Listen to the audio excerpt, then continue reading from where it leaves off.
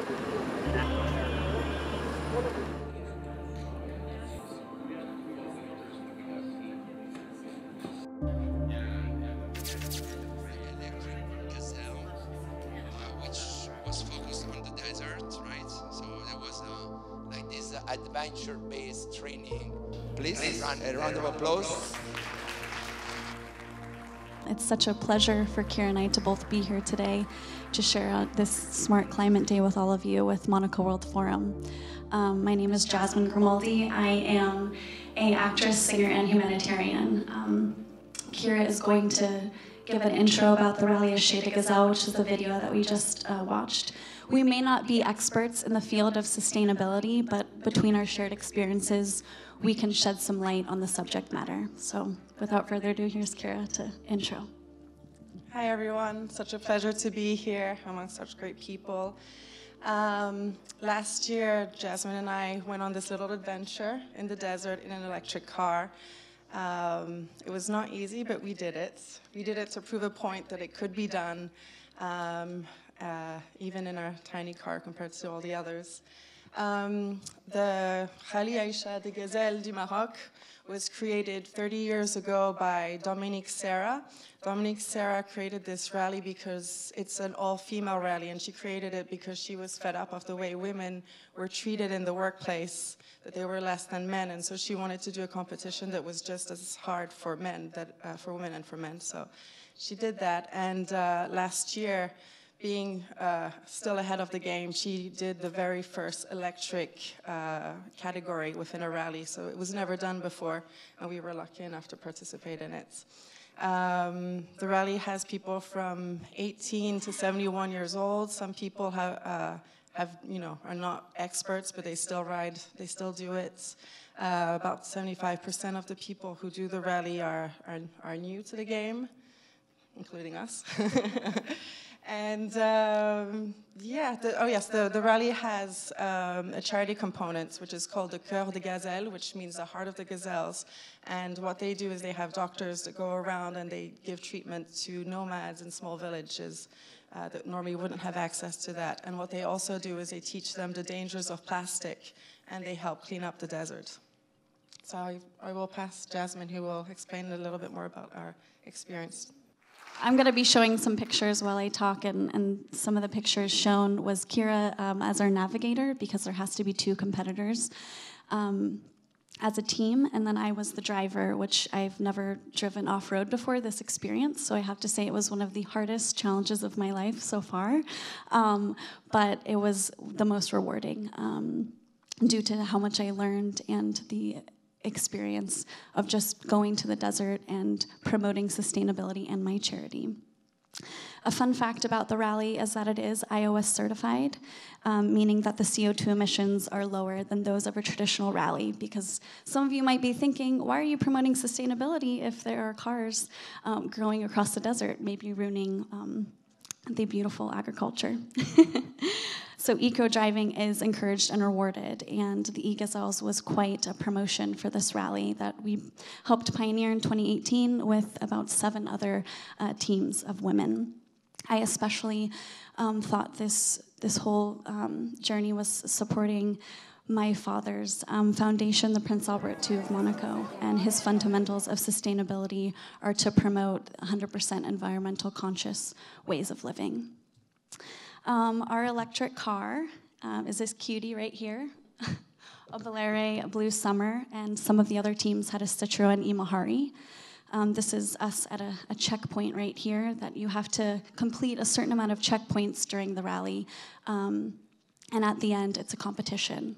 So we did place third, but it's not about winning everyone. It's about the journey that takes you there.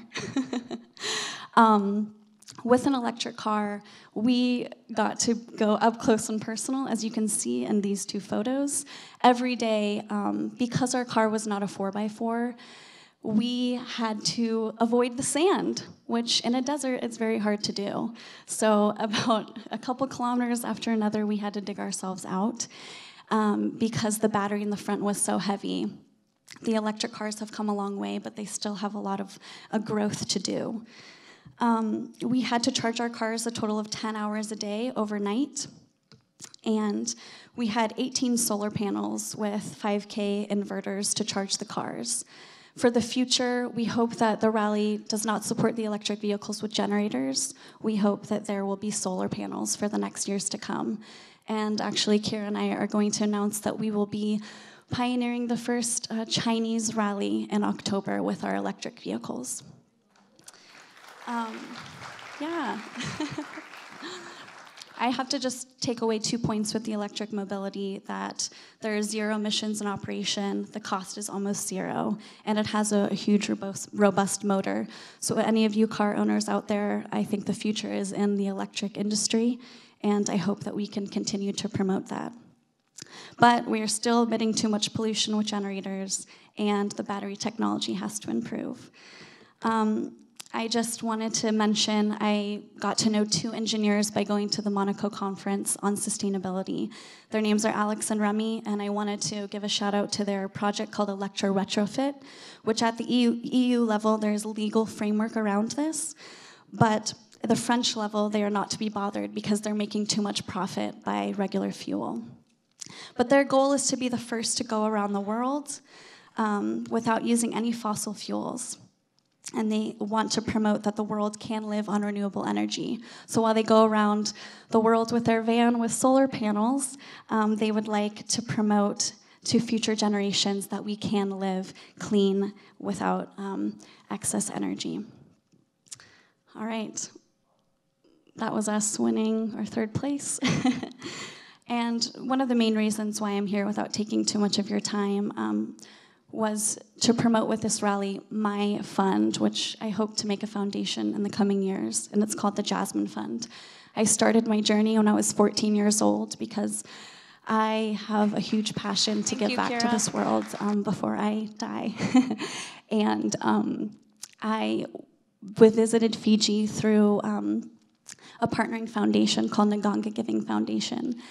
And through them, I am able to do my work today until I become a foundation. Um, but I raised funds for local schools, um, women and village women shelters, and I provided mosquito nets, rain gutters, school desks, and books to the children. And now, fast forward to 2018, last year, which I partnered with the Naganga Giving Foundation again and an architectural collective, Caukin Studio, that are all graduate students embarking on their first ever architectural project. Um, in 2016, Cyclone Winston came in and wiped out most of the South Pacific, especially Vanuatu, which, one of, which is one of the largest villages in Fiji, the one that I am closest to, Savu Savu, and particularly Naindi Village. It houses over 400 residents, and their community hall was in complete ruins. So we came in last year. It took eight weeks with our partners, and we built this structure behind you with only $40,000. Our hope is to create this in the future in places like the Caribbean that have been devastated by natural disasters due to climate change.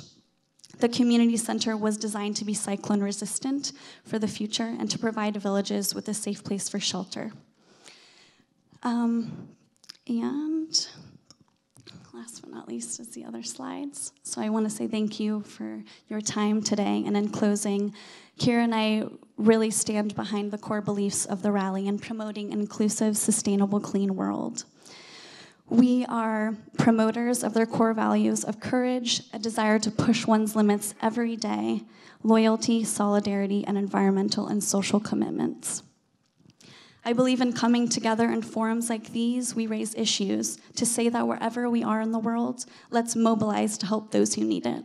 Whether it's participating in rallies, going cross country, the Monaco Better World Forum, my father's foundation, the Prince Albert II of Monaco, and the Jazmin Fund. We have brought together energies of men and women to act in the fields of health, environment, professional reintegration, education, preservation, arts, and sustainability. We have the heart to help, but it's not just about the how, it is about action. It has been devastating to hear on the news and see all of these natural disasters affecting us due to the rapid increase of climate change. So it is my hope through the actions of my charities and partnering with people like these today that we are a part of the change too to make a difference, to end this suffering. I join you in becoming educated, and I hope that you can take the time to attend more of these and take action yourself because being educated is power and knowledge is power. You can take action in your own unique ways. Let us help our planet and put an end to the negative effects of climate change today. And we are naive in thinking we could do it alone because we can do far more with the power of working together. Thank you very much for your time and visit thejazminfund.com for more information or come talk to me after the panel. Thank you. Thank you. Thank you very much. Thank you so much. Thank you.